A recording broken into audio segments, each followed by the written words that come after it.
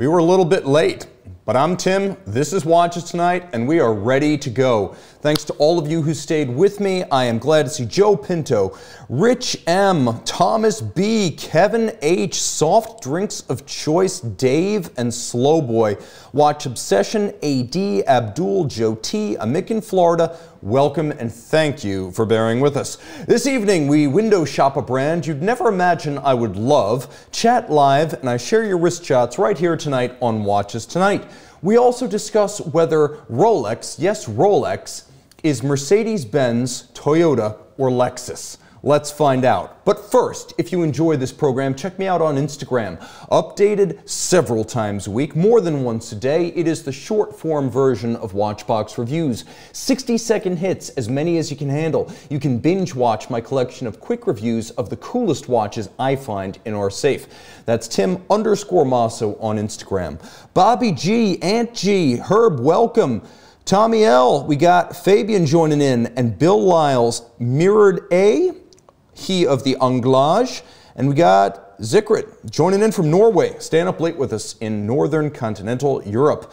Oh, great. A few of yours on mine. Viewers chats number one, starting off with Tim M. No, not me, the other Tim M, Tim Mancuso, who leads off with his rare Cartier Calibre de Cartier full gold, which he bought from the 1916 company, so thank you for trusting our company. Mark S. His Vacheron Overseas Ultra Thin and Porsche Taycan hit the road.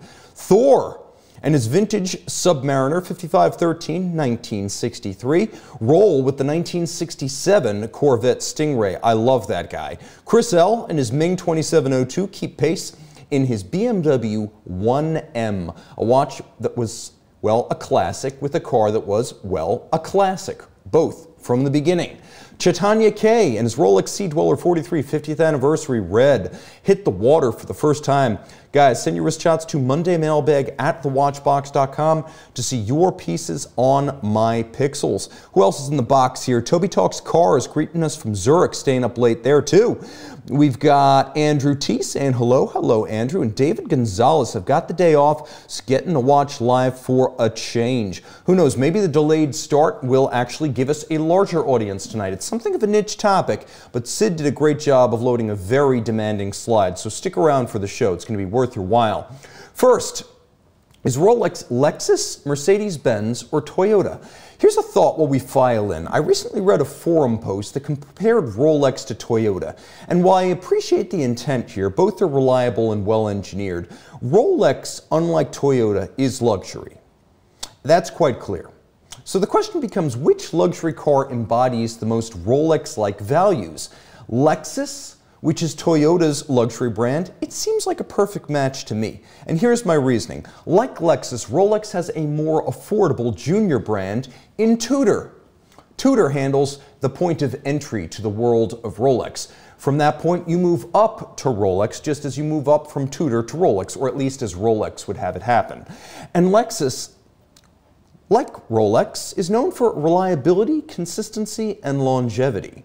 Most of its models evolve slowly, endure in the catalog for a long time, and are considered nearly default options for well-heeled people in the mainstream volume luxury marketplace. Mercedes, in contrast, had some firsthand experience with one of those W210s back in the 90s, and I can tell you, it abandoned its Rolex-like commitment to conservative design and bulletproof engineering, starting in about the mid-90s with that generation of E-Class. This was the Jurgen Schrempp era, and it was not a good time. It was also the era of Daimler Chrysler, which, contrary to most assumptions, had less to do with Chrysler taking over Mercedes and more to deal with the sort of Uber Chrysler mentality taking control of both through Jurgen Schrempp and his immediately controlled underlings. It was a bad time for Daimler and Chrysler, but particularly for the world's oldest automotive brand. By the time the qualitative catastrophes of the Jurgen Schrempp era were banished for good, MB had lost its sheen of invincibility and peerless engineering supremacy. Lexus, though, never had an era when its products became infamous for design lapses, and neither has Rolex. Rolex has actually gotten better with time, though never being disappointing in any era, it has always been mainstream quality and never really something that disappoints based on prior performance. The Rolex of the 40s was inferior to the Rolex of the 50s, which was inferior to the Rolex of the 60s, and so on. Progress. You never got the sense that the Rolex of like the 90s was worse than the Rolex of the 80s. Mercedes, that was a problem. Now, once in a generation, here's the thing Mercedes launches absurd vehicles for which Rolex has no real equivalents. Um, Mercedes also plays at price points that feel like the car equivalent of Richard Mille, Greubel Forsey, or Roger Dubuis. Again, Rolex doesn't really go there. Rolex, when it does do something crazy, the sole reason is usually some sort of handcrafted gem set special that occupies the slot. It's usually something that's not even in the catalog, isn't advertised, and has to be asked for specifically. Not a crazy complication or bespoke edition. Now, once in a generation, Lexus will create a nutty vehicle that would be remembered for decades. It's special precisely because it is such a departure for the brand. And that's exactly what Rolex did in 2022 with the Deep Sea Challenge, a 50 millimeter titanium behemoth sealed to over 36,000 feet. It was the first Rolex diver of such ambition since the 1960s in the Deep Sea Special. And yet, between Lexus and Mercedes, I have to admit, I still want the Benz more.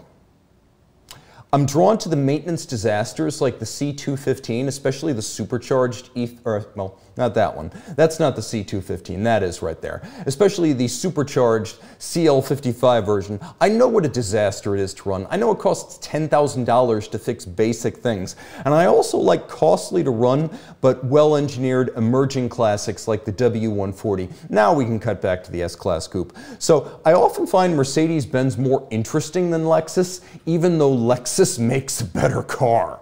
So you might ask, which company is the watchmaking Mercedes Mercedes-Benz, with a record of high highs and low lows, but almost everything quite interesting in between. Here's a clue. Although oddly, uh, that guy right there is no longer with Mercedes-Benz. Circa 2025, he's going to be with Ferrari, and I'm looking forward to it. But for now, you know who he sponsors or who sponsors him. Viewer wrist shots number two, Daniel S. And his 1916 bought IWC Pilot's Watch chronograph overlook Manhattan. Looking good, and thank you for trusting our company.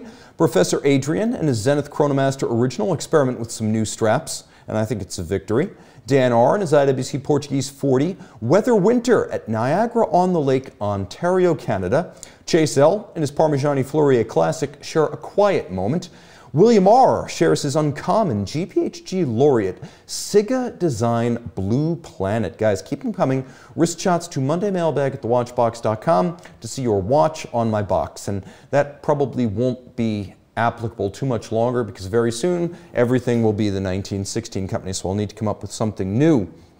Mason 1 saying, ah, there you are. I'd given up hope that this live stream was happening. Hi there, Tim from the UK, 1916. Bought Moser Pioneer Swiss Mad Red with bracelet on the wrist tonight. Again, thank you for trusting the 1916 company. I think in time we'll call it 1916. We have Renside, who's tardy. That's okay. You're just in time for our main feature. Abdul R saying Hamilton 44 in red will be epic in 2025. I agree. And also, because he's going to have a really cool teammate. For the first time since Jenson Button and Nico Rosberg, Hamilton's going to have real in-house competition. We have uh, Brian Essing, David Candaux, thoughts, Tim. I would say buy a David Candaux watch made by someone else, like the JLC Master Minute Repeater, because they'll provide parts and service. I like Candaux, but he's a controversial guy. When buying a watch from him, consider it like commissioning art from a high ceiling, high reward, high risk type of artist. Um, again, research his business history, know what you're getting into. He's a very nice guy, a very capable watchmaker, but whenever you're dealing with someone who makes very few watches on a craft basis and has had successes and failures as a businessman, you really want to understand the risk that you're taking. What else is going on? Mick in Florida saying, Tim, I loved your Omega Caliber 321 unboxing, guys. Keep me streaming. Open up a new window after this. Check out my unboxing of the Ed White over on Watchbox Reviews.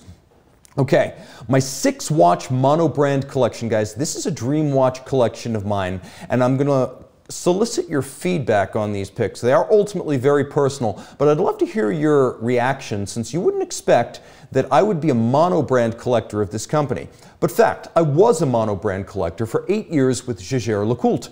Part of the reason, and that's my old collection right there, was my admiration for the brand itself, its history, and I perceived it to be just a brand with integrity. Despite being in a corporate group, it didn't seem to have compromised itself yet with cheapened watches or too many watches or watches that were coming back on warranty, at least at that point, back in 2015.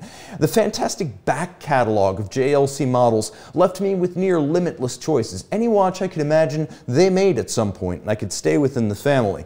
Today, I revealed that once again, I've envisioned a mono brand collection from a company within the Richemont fold. Unlike my attraction attraction JLC, my attraction to this new suitor is purely a function of its back catalog. I'm agnostic on its past, its present, the people running it, the heritage, or what may be deemed to be its traditions. I simply love some of these watches. And here goes. I'm not a forum groupie, a fanboy, a brand purist, or even a current owner of a single reference, and I'm not an aggrieved brand absolutist like a certain John Mayer. That's right, guys. I'm building the IWC collection of my dreams today, and we're going where no episode of Watches Tonight has gone before. Let's start with my favorite recent IWC, the watch that let me know they still have a pulse in the modern era, and it's not just the John Mayer approved references from the pre Georges Kern era that are cool. Possibly the coolest watch made by anyone in 2018, the 2018 Tribute to Pallweber Edition 150 Years. Now, here's your proof that Mayer may have spoken too soon about modern IWC. Based on the IWC Joseph Pallweber digital display pocket watches that came out starting about 1884, or 100 years before I was born, the 2018 limited edition of 500 pieces in steel was less than, well, I think it was less than one third the price of a Zeitwerk at the time, and really just as formidable. That is an actual enamel dial. Pallweber that was at SIHH in 2018. They had a watchmaker working on these. She was very cool, and the watches were awesome. I rarely bother to get personal wrist shots of a display watch at a show, but this one was an exception. I had to see how it fit because at 46 millimeters, I kind of thought and hoped that it was off limits. No dice. This thing actually fits well on a small wrist. I knew I had to have this gorgeous thing sooner or later. Marvel here. At 12 layers of hand polished blue and clear lacquer. It's designed to look like vintage enamel. Instantaneous jumping minutes and hours. And yes, the seconds hand is synchronized to the minutes, even though they're driven by two separate mainspring barrels. We have an exclusive caliber 94200 Manual wind, 60 hours of power reserve. This movement was never used on any other IWC series, meaning it is a rare exclusive build, expensively constructed for a super scarce limited edition. That's not the kind of thing that accountants would approve, which makes me suspect that there were still some very soulful watchmakers and designers working on this project.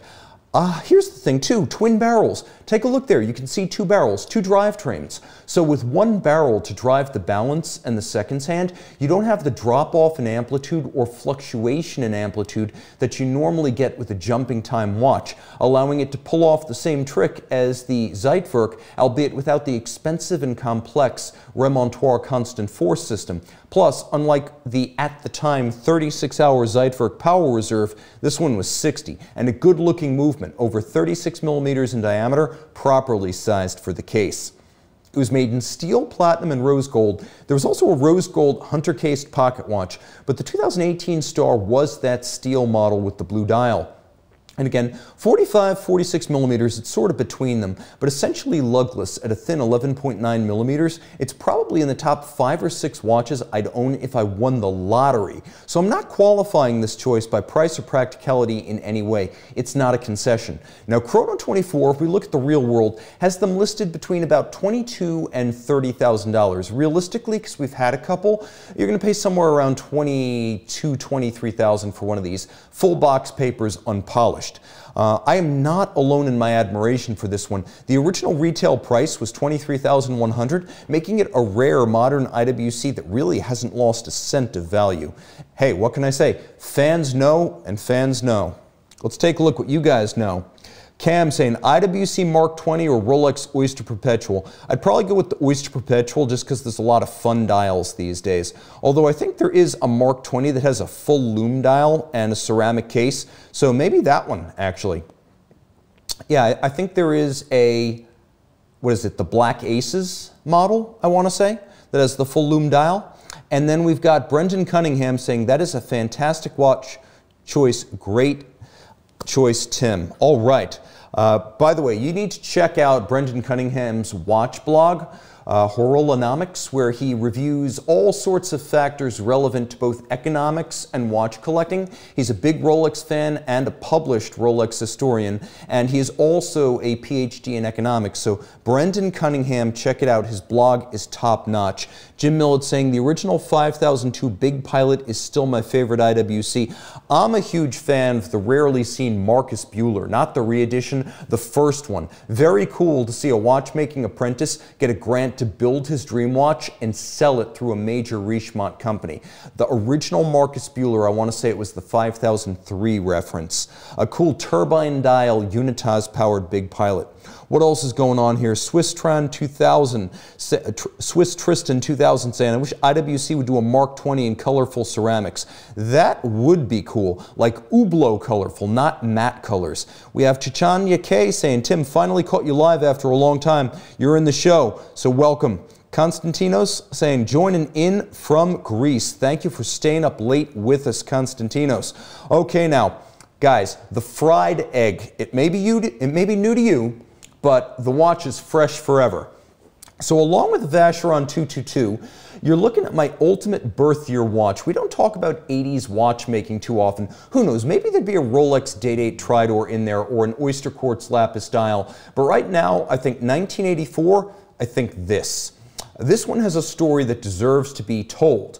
So we don't talk 80s watchmaking in general, but it was a cool period for IWC. And in 84, this Portofino reference 5251 was a thunderous endorsement of traditional mechanical watchmaking by the people at IWC. Now, this was the peak of the quartz era. It was still the quartz crisis, and there were still crickets in watchmaking schools around Switzerland.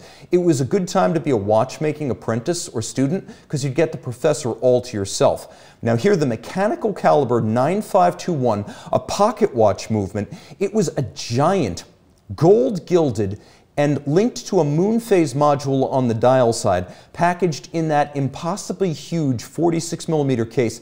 Hey, guys, this was an era when in 1985, Patek launched the 3919, a typical gold dress watch that was a standard 33 millimeters. So 46 was colossal, a clock more than a watch. The fried egg earned its nickname with a white enamel dial, kiln fired, and paired with a yellow gold case. It was based on a pocket watch movement and a pocket watch model, albeit here with the design by watchmaking Ace Kurt Klaus, so that was the actual mechanism, and designer Hanno Burtscher, who was a prolific designer of IWC's 80s era timepieces. They combined to create this milestone. Now, uh, aventurine glass moon phase disc. Uh, if this is the fried egg, I guess we've got the whites, we've got the yolk, and that blue aventurine is like a blueberry pancake, I suppose. Caliber 9521 hailed from an era when IWC watchmaking, especially mechanical watchmaking, was low volume and nothing but exhaustive hand finishing was considered for such a flagship piece and it was one of the earliest sapphire display caseback watches from IWC, although a solid caseback was dubiously available. Some were made, I can't imagine what they were thinking. Impressive people, like I said. Gunter Blumlein was CEO of IWC at the time, and he blessed this project. He would later go on to revive JLC and be one of the founding fathers of the modern Lange. Kurt Klaus, who has been the subject of many tributes from IWC, was still leading from the front at the time, the watchmaking head of IWC's mechanical watchmaking department, and this was his baby. We had Hanno Burtscher, who designed many period IWCs that are iconic among IWC collectors today. His original version of this watch had Louis XV hands, which were really weird, but the ultimate design is still very close to his original concept, meaning this one was born from a concept watch almost undiluted, something rare in the business.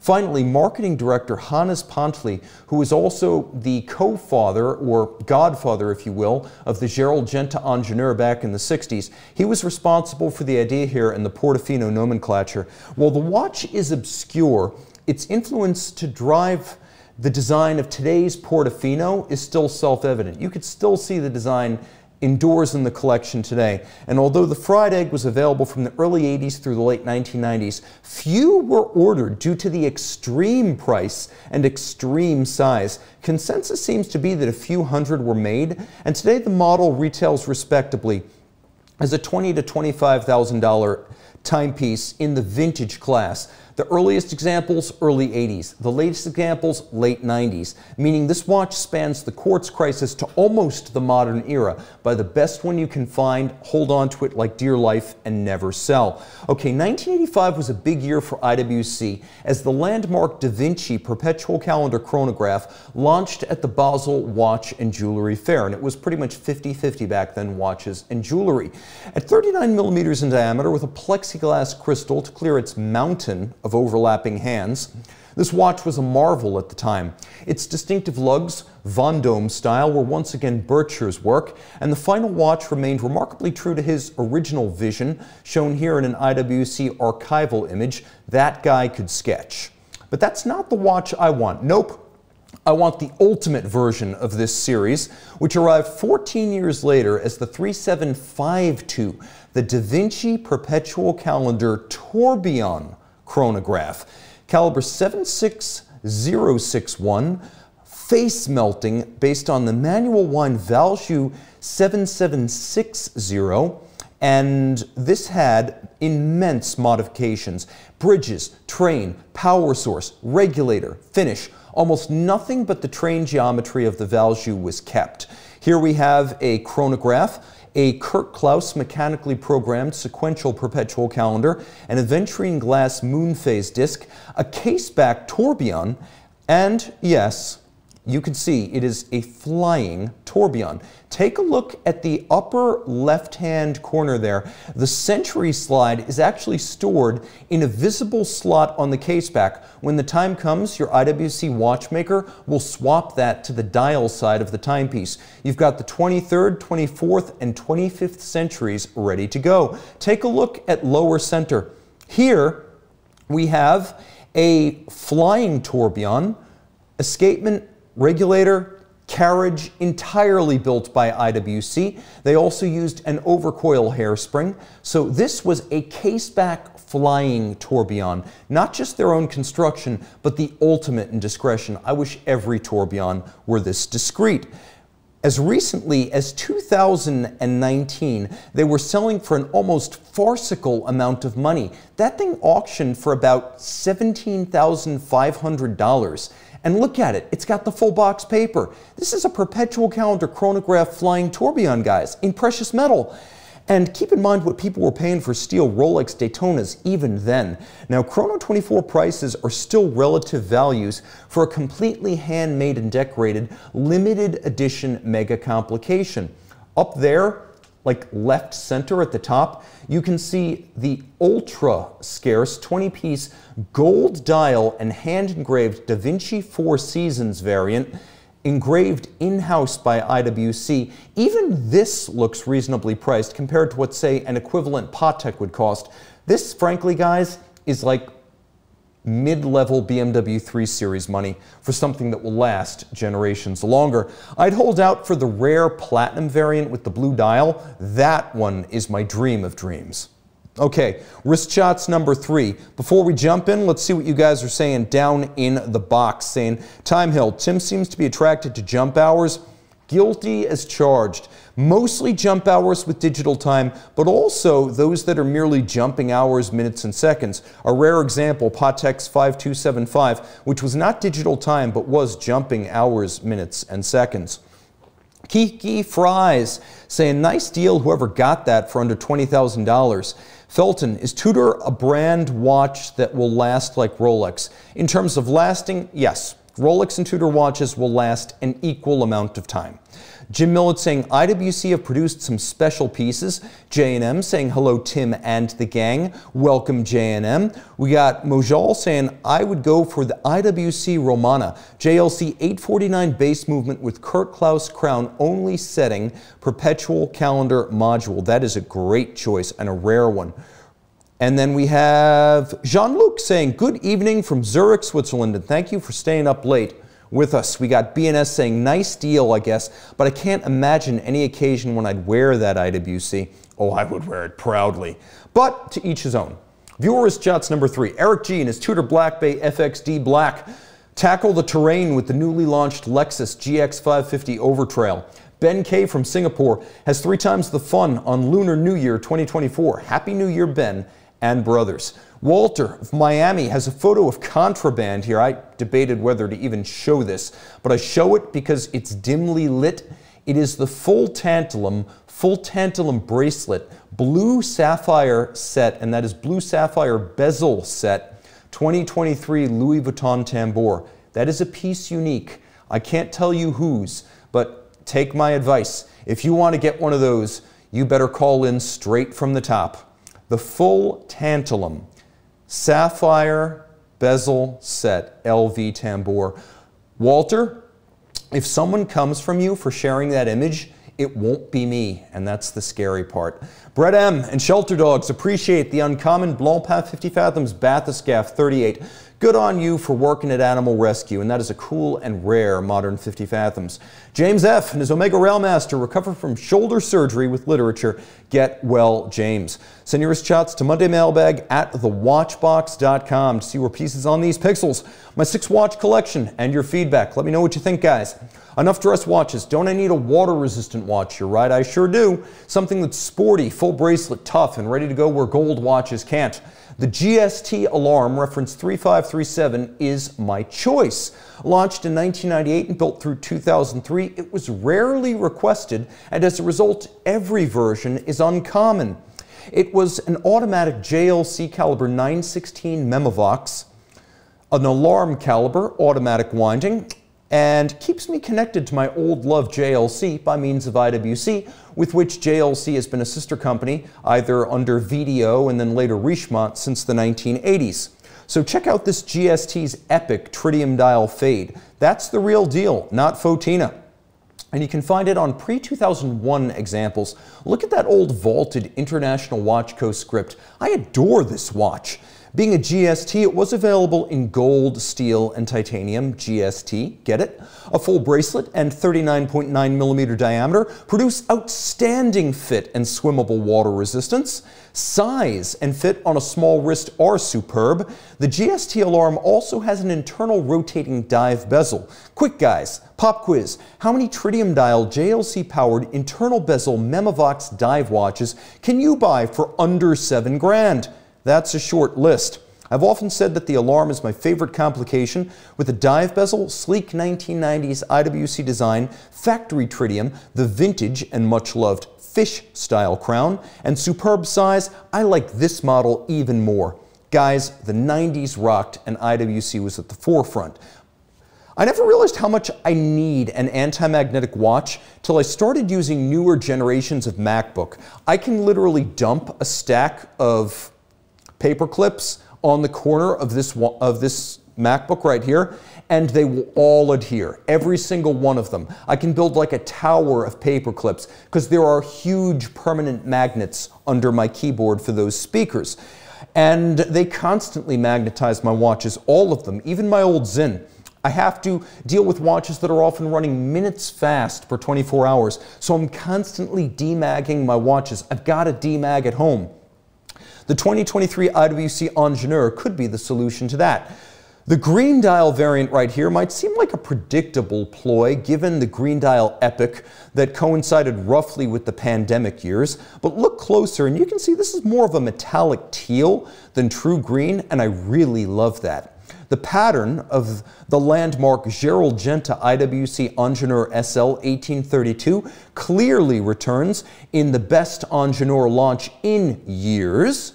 We had too many late 2010s Ingenieurs rooted in the 1950s, and frankly, they were a bit anodyne and boring. But the definitive Ingenieur from the 1970s was unceremoniously flushed from the catalog. Some have blamed IWC designer Christian Knoop as being somewhat averse to designs not penned under his aegis, but that's just speculation. Now, this was all hugely ironic since IWC genuinely has a 1970s Gerald Genta designed peer watch to the Nautilus and Royal Oak, designed in the same purple patch that Genta designed those watches in the first place. Now today, everyone from Wempe to Moser is trying to glom onto the integrated bracelet sports watch fad, but IWC left the real deal dying on the scrap heap. Now with a 40 millimeter case, 100 meter water resistance, an anti-magnetic soft iron inner shield, an integrated steel bracelet to fit it to the wrist, and a five day automatic winding power reserve, what's not to love here? Well, Frankly, how about the price? At $11,700 for the steel model and a breathtaking $14,600 in titanium, IWC's management has lost touch with reality. Now, it's a good watch, but it's not 14,600 good. Keep in mind that the exact same ValFleurier movement is used across the Richemont group, including in a Baume & Mercier Clifton that costs $3,450. And that one is COSC certified as a chronometer. The IWC isn't. Although I'm sure the IWC is adjusted just as well. Still, given where you can find that movement, IWC should seriously consider selling that Ingenieur for under 10 grand. The case and the bracelet and the dial do not explain the premium, not to my satisfaction. Finally, we have a watch that's more than my IWC Grail. It might be my exit watch and my Grail of Grails. Head to head with a De Bethune DBD, this one would come down to the wire, a fight to the finish bloody knuckles and chins and noses on both sides. I can't honestly tell you who would win. Let's see what you guys are saying right here. Chaitanya saying, Ingenieur, love it, but too expensive. Would get a VC56 for that price or even a Yachtmaster 40 Blue Dial. For the price of the titanium Ingenieur, you could almost get a Kate Leal in steel with Geneva Hallmark and the later 100 meter case. Jim Millett saying, great to see some members of the Archieverse on here. We do have Archie fans. We got right here, Mason 1 saying to me that looks like the color often referred to as petrol. A little bit maybe. Petronas teal, maybe? Petronas teal? We, since we were on the Mercedes AMG kick earlier on. And then right here we have James F saying the five top bolts throw me off.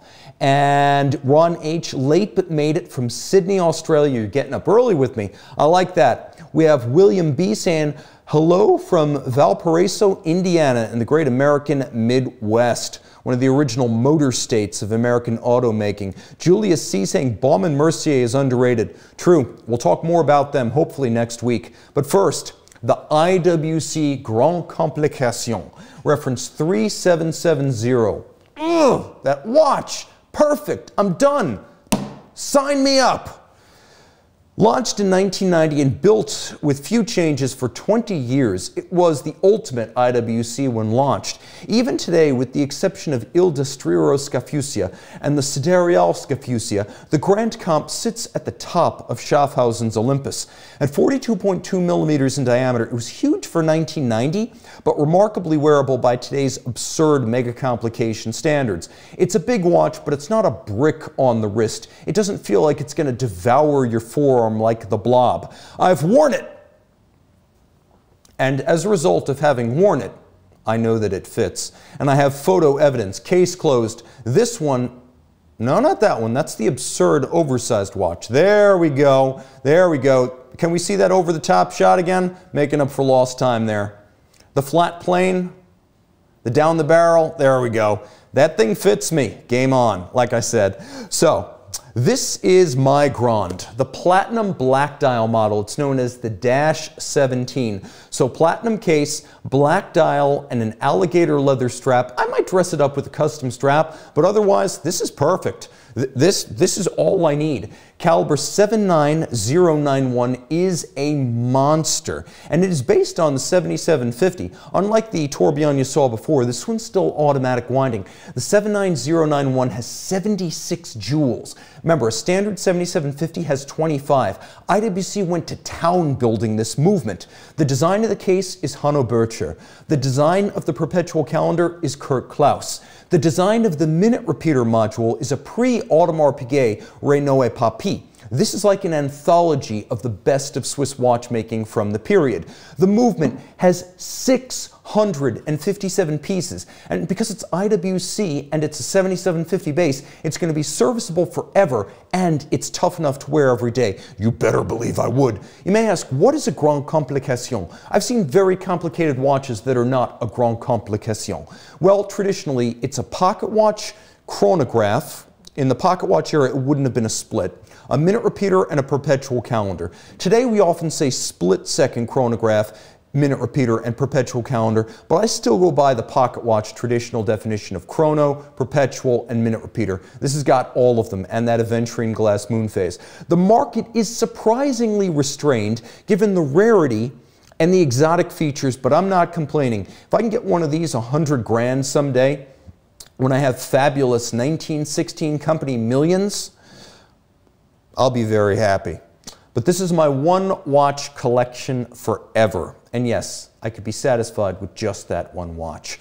Okay, see what you guys are saying. Dealer ignition wasn't late on my other watch's time schedule. Robert Wood, hello everyone. I'm late and I don't blame you. Yuki Sonoda saying, People here are cool with Tissot. Don't know if you can make people here like them as you do on the other stream. Maybe we talk about budget watches next week. Baume & Mercier, Tissot, Longines. Chaitanya saying Patek Nautilus White Gold 5811 for Tim. I really wish Patek Philippe launched a steel version for that this year. It'll come eventually. Wait till they've exhausted the appetite for platinum, white gold, rose gold, yellow gold. And then we've got Ivar joining in and Von Krul saying that movement instills fear. It goes to the maker for service. Who else would even touch it? Well, I bet you could send it to Richard Habring and he would service it. But I would say David Walter if Richard Habring would not. Um, and again, IWC's going nowhere. Just send it to them. I, I, found their service invoices are actually kind of fair. Viewers shots number four. Darren S. is in Cabo with an uncommonly handsome custom dial Tissot PRX. Jens F. endures a kids football match with his Doxa Sub 300 Shark Hunter Carbon. Muhammad E., his daughter Humaira, her Tudor Black Bay S&G, and a friend explore a reptile cafe in Kuala Lumpur I'd say maybe wash your hands before eating. And then we have Phil C. Sr. and Jr. displaying the shocking color contrast on two different runs of the same generation of Rolex green sub. Look at the difference in shade of those bezels. Shocking evidence there. Luis R. and his youngins Max Bill prepare to enjoy the Hamburg Elbphilharmonie. Enjoy the show and thank you for taking us home, Luis. Send your wrist shots to Monday Mailbag at thewatchbox.com to see your pieces on my pixels.